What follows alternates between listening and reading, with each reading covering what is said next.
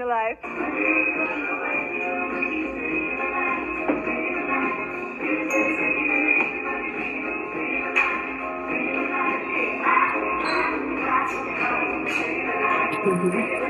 That video you see right there of a grumpy old woman, that's Michael Weitzman. He's been to six psychiatric hospitals.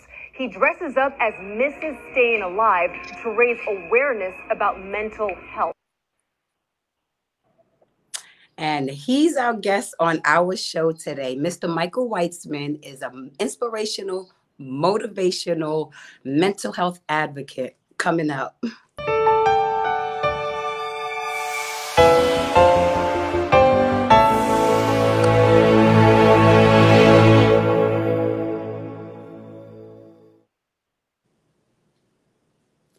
Thank you so much for joining me today. I'm Mel, your host. Uh, the Love Manual is part of an ecosystem where we're trying to incorporate individuals, professionals, and give us advice and tips on love, relationships, and life. And it's just uh, one big happy family here at the Love Manual.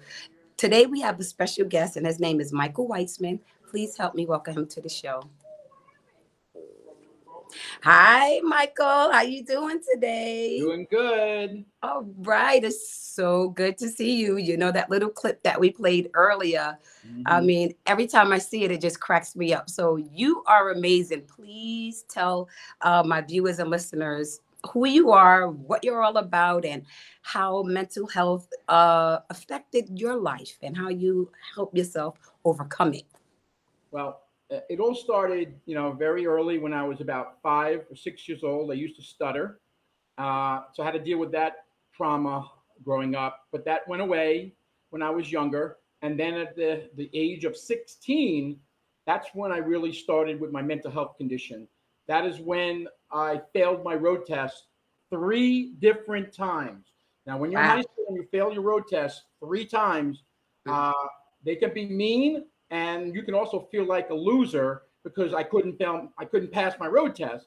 So everybody's asking what kind of car you drive and what do you, you know, you pass your road test, and I would have to say I didn't, or I just wouldn't go to parties. I just wouldn't associate because I, I had to deal with what isolation because I didn't want to be that person that you know I didn't do well. My self esteem was like terrible. So that's when the mortgage, excuse me, that's when the mental health condition started at the age of 16. And then had tried to find a decent job. I went through high school, went through college, got by, had problem taking tests, and then all of a sudden graduated college, thank God. Tried to find a job, couldn't really get a decent job, got a job in the mortgage industry. Hallelujah. I found something and I started doing unbelievably well with uh, in the mortgage industry. But during that time, I was a commission sales rep now. When you're commissioned and you suffer in silence with your mental health condition, it's very difficult because you never know what your income is going to be, up or down. Right. So I did very well in the mortgage industry. Uh, but during those 25 years, I was able to eventually get married, have two kids, and do very well in the mortgage industry. But the mortgage, the money I made, all that money I made was my antidepressant. I wasn't on any medicine. I didn't do mm-hmm. anything. So during those 25 years, I suffered in silence. My right. parents knew they were a very big support staff, but uh-huh. I couldn't what? I didn't come out of that mental health closet yet.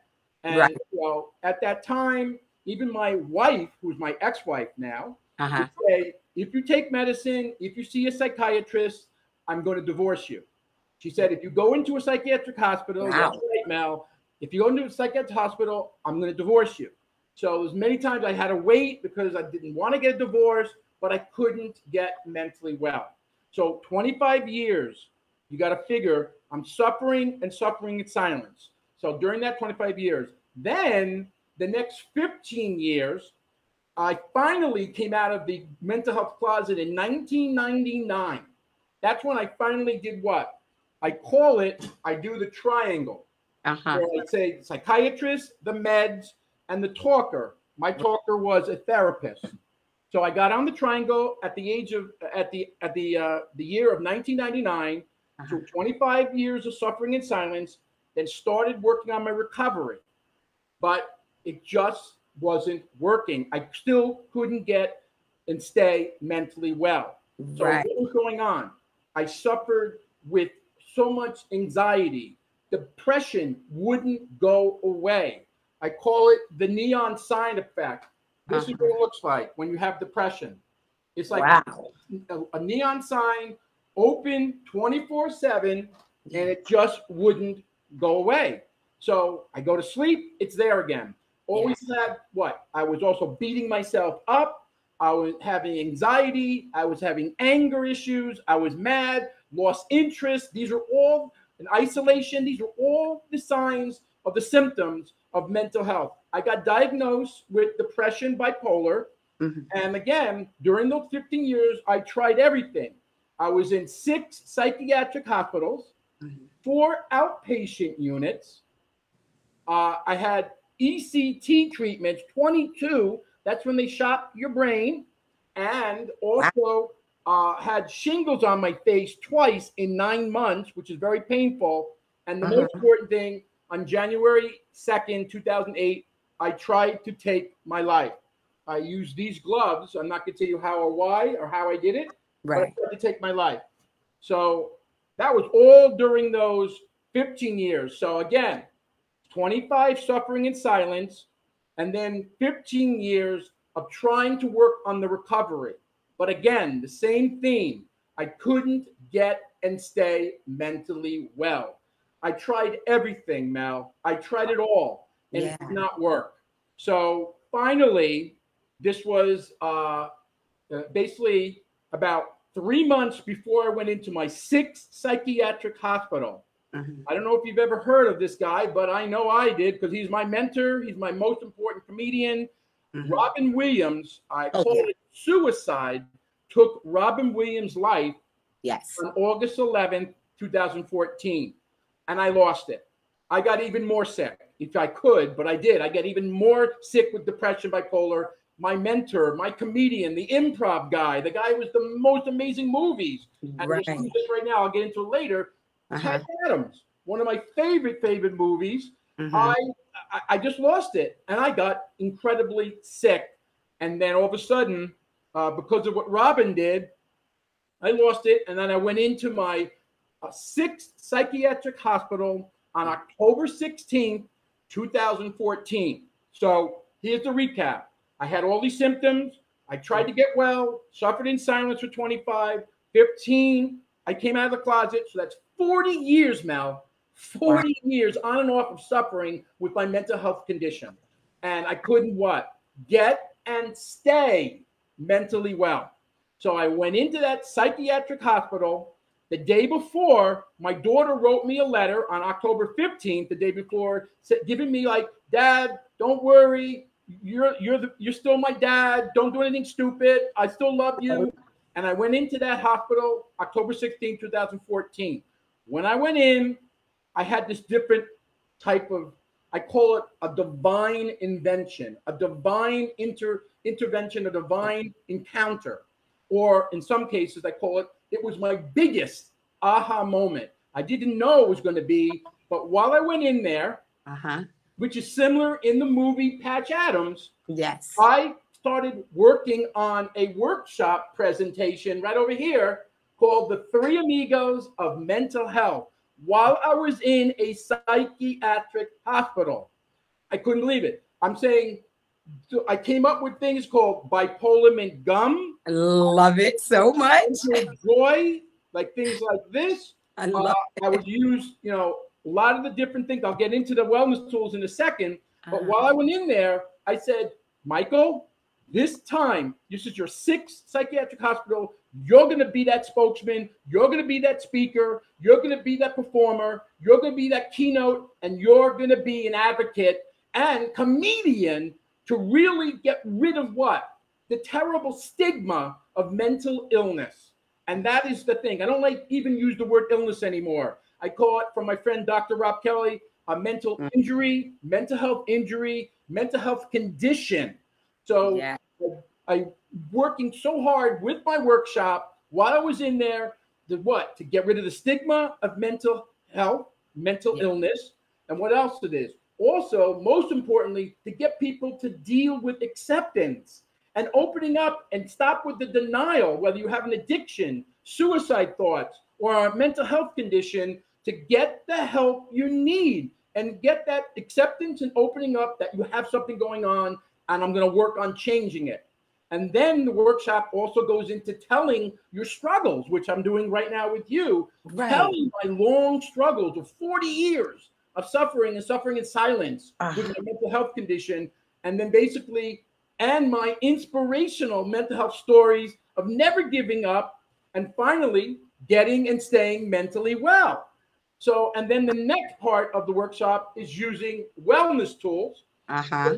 most important thing the wellness tools is what got me to stay mentally well just to give you a few some mental tools like doing a to-do list Yeah. journaling uh, uh, putting together uh, affirmations uh, having deep breathing exercises meditation dancing yeah i'm a good dancer also i also Oh, we saw that, Mrs. Uh, Mrs. Oh Staying God. Alive. I also I do a creed, prayer, God, Bible, Jesus. I do all these different things, but again, in the workshop, I made sure that humor was Uh-huh. my biggest wellness tool, right up there with God and Jesus. Yes, it's God, Jesus, and humor.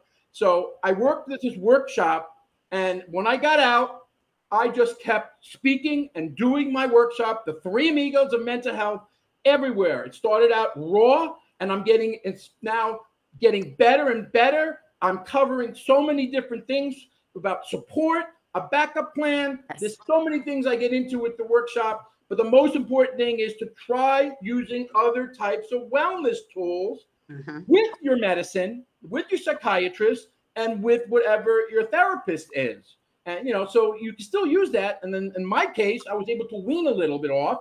So I don't take much medicine, and I became my own coach, counselor, and peer support specialist. Because right now, when I came out, I now am a trained, certified peer support specialist Yes. professional, what? Professional, uh, motivational, inspirational, memorable, Yes. keynote speaker, uh, performer, advocate, care coordinator, and stand-up comedian. Yes, my God. I added one little thing in the workshop, and you Uh-huh. know who she is. Oh, yeah. I came up with a character called Mrs. Staying Alive. And if you want to show Oh, a picture of Mrs. Absolutely. Staying Alive, there she is. She is gorgeous. She I is gorgeous. And what Mrs. Staying Alive represents is all part of my workshop. My name is Michael Weitzman. mhm. Bip Olar no longer. Get it? Bip yes. Olar no longer Yeah. and Mrs. Staying Alive. And Mrs. Staying Alive is all about about what? About what? It's basically Patch Adams Uh-huh. Miss meets Mrs. Doubtfire. It's my little tribute, now to the amazing Robin Williams, yeah. and most importantly, getting rid of this terrible stigma Uh-huh. of mental illness by using humor as my biggest wellness tool. And one last thing, she's also part of my workshop, Uh-huh. also about equality, equity, diver- uh, diversity, and inclusion for all people, no matter what is going on with you, whether you have a mental health condition, suicide thoughts, uh, addiction, opioid use, have a disability, LBGTQ, whatever religion, whatever chronic illness, it doesn't matter. Elderly, you what are the we all are what, Mal? Yeah. We all are created equal. Absolutely. Came out of this aha moment in Yeah. a psychiatric hospital on October 16th, got discharged on uh, on October 29th, Uh-huh. 2014, and now I have gotten and stayed mentally well now over six and a half years, and now it's all about helping others. Ah, Michael, you are amazing. I mean, the things that you do for individuals, like, you know, we were speaking about someone that you're currently helping right now. Uh, how do how do you uh, feel about the comedy and the mental health? Do you feel like it works when you're talking to others?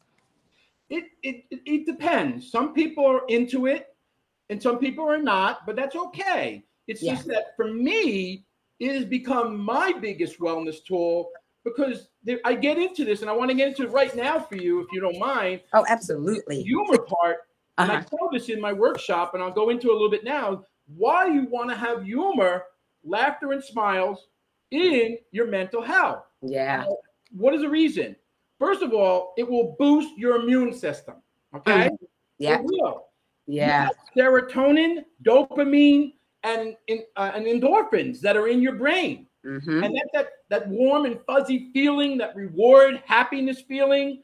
Uh, it also reduces your blood pressure. Yes. It dulls and kills the pain. It alleviates stress and anxiety. That's why you want to have humor, laughter, and smiles. Uh, it's good for your heart. It's also boosts relationships.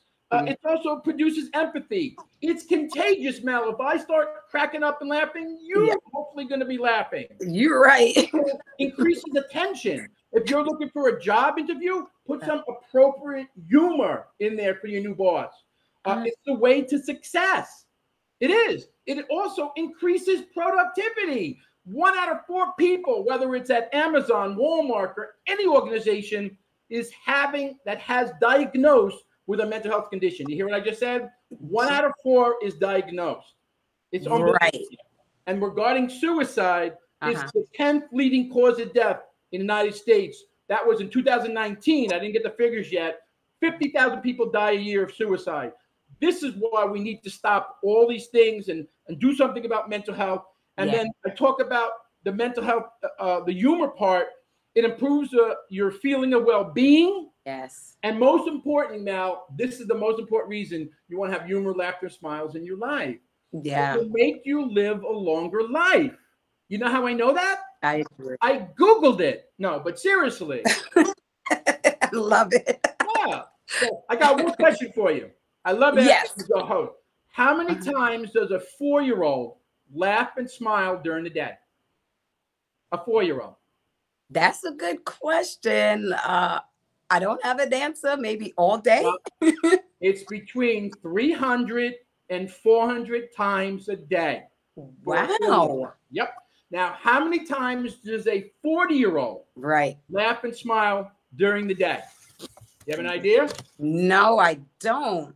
Between three and 12. Oh So, God. why why is it important to use humor, laughter, and smiles for your mental and Yeah. physical health? Well, I just gave you a lot of reasons before, You and sure it's something that it's it's good for you. It's they always say that laughter's your best medicine. Come on. And I agree. And that's my statement all the time. Yeah, like this bipolar mint gum. I told you I came up with bipolar mint gum. Here you go. gonna need a It's on the streets. Uh-huh. Bipolar mint gum. So now you too can have the taste and the feel of having bipolar. That's right. You got the taste and feel of having bipolar, but don't worry. Each stick comes in free hospitalization, ECT treatments, and permission to run naked in your local shopping mall. I've done that three times. So chew up, ladies and gentlemen. And I got schizophrenia mint gum coming out next week. Yes. What is it about, Mel? Have fun with your mental health. Don't make fun. Have fun. Normalize mental health condition. So when I walk down the street, someone says, "You know what? I have a I have my broken arm. Well, that uh-huh. needs time to heal. So does the brain. yeah. So does the brain. And it's just mental. It's not you're not a monster. And that's the other thing I'll get into when we when you uh, if you give me some when you give me some other questions too. Yeah, that Michael, you're just so amazing. How has you know your your comedy and your advice helped you through the process? You know, I mean, I'm pretty sure you take your own advice, and how does it help you? the, the most important thing, the advice regarding the wellness tools and humor has been what I have used all of this time, like doing affirmations, uh, putting together a creed. Uh, I am now, I'm a Jewish man that actually accepted Jesus Christ 10 years ago. Yes. He's a wellness tool. God is a wellness tool. These are all incredible wellness tools for your mental health. So I use all of these wellness tools from the wellness toolbox, and I just happen to like humor as my biggest and favorite one. And and that's really what it's been. That's what got me to stay, not just to get. Everybody, what? I call it the ticking time bomb. Yeah. I've had this so many times during those 40 years that I would feel better and then bang, ting, ticking time bomb go off. I would feel better and then bang, the ticking time bomb would go off. And that's the problem. It's not about getting better. How do you stay mentally well? Right. So that's the most important thing. It's the wellness tools, it's support staff, having a backup plan, all Mhm. these different things uh, that I talk about, but you got to try it. I'm not saying it's going to work for everybody. Right. Sometimes people are not going to like humor, but you can try other things. You can try acupuncture, hypnosis, uh, tarot cards, the Reiki. There's so many different things that you can try with Uh-huh. your medicine, with your psychiatry, and with your meds. But and and in some cases, you can wean off like I was when I do it with my psychiatrist. That's amazing. You know, you doing Mrs. Staying Alive in um, those facilities. I, I see the um oh, you know, the senior citizens dancing with you and everything like that.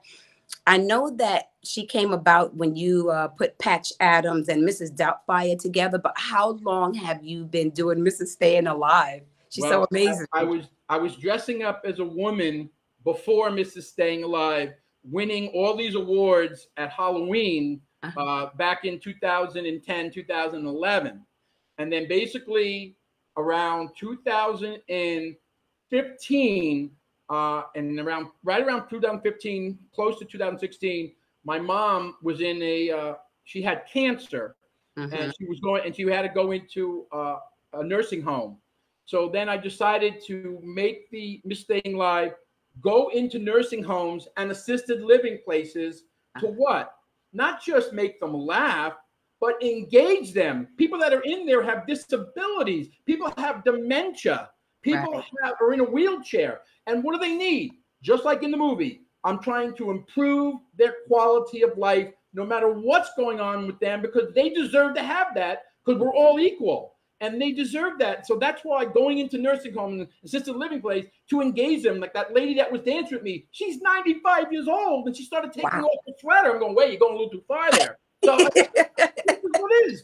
what. What about the people that are elderly or disabled? They deserve to have a quality life, just like people that have a mental health condition, Wow. suicide thoughts, addiction, or opioid use, they are also deserve. It's not their fault. It's not their fault that's going on. And they're not a monster. And I'm trying to normalize all of this as long as you work on your treatment plan and your recovery. Wow. Oh, boy. So I know that mental health is like a family disease. How do you help like the whole family deal with it, you know, and try to help the individual that's suffering from mental health? You know, how do you help the whole family? Well, it's important that the family is on board. Okay. Right. When I was married, my wife was unsupportive, unloving, and she didn't get it. She was, uh, as I say, a third amigo. So I just want to get into important to know what the amigos are. The 3 Uh-huh. amigos of mental health. The first amigo is someone that is suffering with a mental health condition. The second amigo is somebody that is suffering in silence with their mental health condition. And the third amigo is somebody that is not suffering with a mental health condition. I say, congratulations and mazel tov, good for you. But those are the people that are contributing to the stigma of mental illness because they don't want to know what it tastes like, what it feels like, or even deal with it or have to have any type of understanding of what it goes, what it's like to have a mental health condition. And I'm trying to change that. So with my own clients, with them, and also along with their own family, and then where I work at a psychiatric hospital, where I used to be a patient there, uh, I'm helping people put together. I'm working on telling them the most important thing with people that are suffering is most important is keeping them busy. You got to keep what? You got to keep that mind busy, and you gotta keep your body busy. So I'm always asking them, "What did you do today? What can you do? Did you take a walk? Did you go to the library? Did you? I mean, you got to start doing some of the wellness tools. You know, you can read Wayne Dyer, self improvement tapes, music. You know, there's so many types of wellness tools. So I get them to do that, and then of course get the family involved because they they're the ones that suffer too. They Right. suffer a lot. Yeah. People have addiction their family members or wives and, and, and children, they're all suffering along with the person that's suffering and struggling with an addiction or with a mental health condition. So it's important to, to let them get involved in the treatment plan. Uh, we do the individual for people that are suffering and then get them involved to show that they're working on their recovery, they're trying other things, and they're not a monster. And they shouldn't feel guilty or should feel shame that they're suffering because in the movie Will, Good Will Hunting, he says, Robin Williams says to Matt Damon 12 different times, it's not your fault. It's not your fault. It's not your fault. And that's what most important people I want people to understand, even in this broadcast, is that it's not your fault that you have a mental health condition, suicide thoughts, hearing voices, opioid use, addiction. It's not your fault. But you need to do something and deal with acceptance and opening up without denial that there's a problem going on and you're going to work on your recovery. Wow, Michael. you just gave the listeners and viewers so so much valuable information. Where do you have any up and coming projects that we need to know about? Please. Uh, the project coming right now is that um, I'm hope I try I auditioned three years in a row with America's Got Talent as Mrs. Staying Live. I did not get on, and I am like upset with them. But yeah. I did audition for uh, I did audition for Britain's Got Talent. Uh-huh. So I'm waiting to hear if I got on there. Um, I'm finishing my book, The Three Amigos of Mental Health book that I want to do. Talking to certain people about doing a documentary about my mental health life because right. that's the key. Mel, it's so important. Whether it's my book, eventually my document doc, uh, documentary, uh, uh, uh a documentary, or I can't say that word, or it's okay. a movie of all movies of Michael Weitzman's life story of mental health. Oh. I want a movie so people see it and they say, "Oh my God, Michael, you just helped my son. You yes. just helped my father." Yeah. Now that is definition of success. Using all your passion to give value and helping others with mm-hmm. their mental health, addiction, suicide thoughts, and whatever's going on with you. Yeah. That is what God's given me to do right now. And it's all about helping others. First, I took care of myself uh-huh. when I was in that psychiatric hospital, and yeah. I have not looked back. Six and a half years plus of being mentally well. And now my job is not about me, it's about how can I help everybody in the United States and even in uh, all over the world. So I'm working on the documentary, um, The mm-hmm. British Got Talent, and I'm trying to get more and more exposure on TV shows, whether Ellen until she she ends her show last next year, Oprah. I want to get on Kelly Clarkson, all yeah. these different shows. If I get on there and they can feel the the passion that's inside of me, yeah. Then, then what it is is that then I will be that. So you don't want the coronavirus, and you don't right. want uh, the flu. You don't want any virus. But the virus that you want inside of you uh-huh. to go uh-huh. inside your soul and your heart is Michael Weitzman bipolar Mrs. Live virus that will spread inside of you and be contagious and infectious so I can help you with your mental health and your mental health challenges and so uh-huh. much more. Oh my goodness. Well, you are very inspiring. Like anybody that's watching this that suffers from mental health or have that know someone that is suffering from mental health, I'm pretty sure you gave them a lot of valuable tips and tools in order to help them through this process, even the family. And I applaud you so much. And you using comedy and then um, incorporating all of your uh, props and everything is just a plus, Michael. I don't even know how you came up with such amazing props. You it's know, the bipolar the bipolar. in me. Huh? The bipolar inside of me. I'm very creative. I love, love, love it so much. Oh, so can you tell people where to find Michael Weitzman, well, aka Michael Weitzman on YouTube? Uh-huh. email at mweitzman3 at gmail.com. Mm-hmm. They can mm-hmm. call me at 914-523-5766. I'm yeah. available to help anyone that's suffering. I just helped someone the other day, two days ago on LinkedIn. They found me. I'm ready, got them into a program. I'm here to help the United States and eventually the world. And I'm doing it my way by being a different and relatable resource that's going to help people with their mental health, addiction, and so many other things that's going on with them and make this normalize that it's okay to suffer, but it's you got to do the work and go for discovery to recovery. And then now I go from recovery to discovery.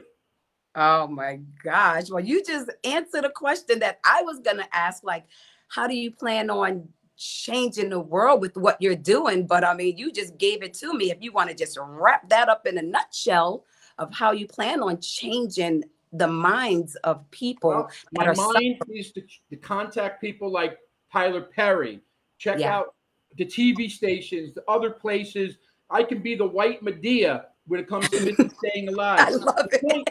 The point is, there she is again. She's gorgeous. Look at disco. Look at the disco rings. I, you know, I was looking at. She's those. gorgeous.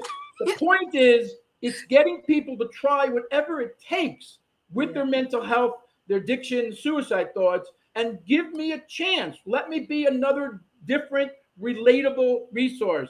And once I get this more TV time and uh-huh. get on TV and do more conferences, and then the name gets even further, the most important thing is it's having no ego, being humble, and having humility. So when I do get famous and successful, which I will be, I'm yeah, just will. like everyone else, and I am not better than you. We are all created equal. Wow. Okay, listen, really quickly, Michael, give me at least two of your best jokes because I know you have some. well, I'll give you, I'll give you, you, you've heard of Match.com, right? I did. You heard of Match.com? Mm-hmm. Yeah. Well, they have a new site out. It's called MatchMD.com, and that's for people that have mental disorders. So uh-huh. on the normal site, I find a woman that has blonde hair, blue eyes, and likes to dance. Uh-huh. But on this other site, I find a woman that pees a lot, has mood swing problems, and anger management issues. You know what? What? I'm in love. Yeah, I'm in love. And we're going unsteady. That's right. We're going unsteady. Again, have fun with your mental health. Don't make fun. Have fun. I love it. And then I go into how many people are married or used to be married or or or, still want to get married raise their hands. Like right. you're, you're, getting you're gonna get married. Yes. so i used to be married i'm divorced but uh, you know but so i go so let me tell you something. Marriage is uh, marriage is an amazing institution. Now i'm telling you there's nothing better. Marriage is the most amazing institution but my marriage made me go into an institution. I got bag right here from the institution. Again, have fun with your mental health. Don't make fun. My ex, oh, when I was sick, Mel, when I was uh-huh. sick, my ex-wife would spend all my money on expensive things. She would spend it on her Mercedes. She would spend it on the jewelry. She would spend it on my funeral. Heck, she even planned the date. Oh gosh. Again, have fun with your mental health. Don't make fun. Make it oh. cool, fun, enjoyable, sexy to talk about your mental health and your mental health challenges, that it's not a big deal and you're not a monster and you're no different than anyone else. Like somebody uh, uh, that has cancer. There's a, uh, what's your name? Glenn Close has a great organization. Imagine if you got blamed for having cancer. Think about what you said. Imagine if you got blamed for having cancer. Why do we get blamed having a mental health condition right. or suicide thoughts, addiction, opioid use? That's got to stop. Oh, that's I'm stopping it. That's my job to get to be worldly known and nationally known to show people that you can get well and you can stay well. I can do it, so can you. Wow, Michael, that was so powerful. I, I I'm I'm so appreciative that you were here to, you know, spread the word and to uh, knock off that mental health stigma and let people understand that it is actually okay to, like you said, come out of the mental health closet. It's not their fault, it's nobody's fault. They cannot help it. Oh my goodness. I appreciate you. I really and truly do. And I'm gonna be looking um for out for your book, The Three Amigos, right? Three Amigos Mental Health.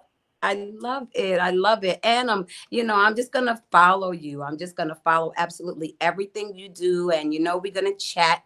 And I pray for your success and that you are definitely uh, known worldwide because you are somebody that needs to be on the big screen for the people that are affected by mental health and don't know where to turn.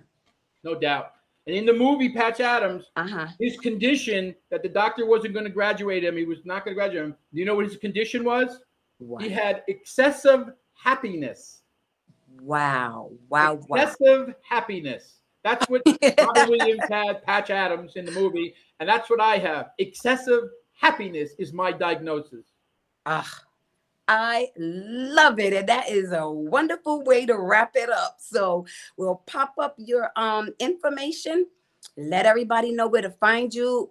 Go check out Michael Weitzman, guys. Please uh, look him up. He is an amazing advocate for mental health, and he's the bomb diggity, right? Yep. I appreciate you, Michael, so, so much. I do. And thank you for spreading the mental health gospel. Thank you so much to be on your show. Thank you. I love it. Thank you. I see you soon, Michael. Thank you. Wow, he is so amazing. He just makes me want to smile and everything like that. So, thank you so much for tuning in. Please don't forget to visit the website www.thelovemanual.com where you can actually join in on uh, our forum, make your own profile, visit our store, which we just launched, and you can actually purchase items on there for uh, Father's Day is coming up. Take a visit. You may find some things that you like. And we also have a daily newsletter that comes out every day. Gives you tons of information and advice and tips on where to travel, how to love life. But thank you so much. I appreciate it. And you guys enjoy your rest of your evening. Bye bye.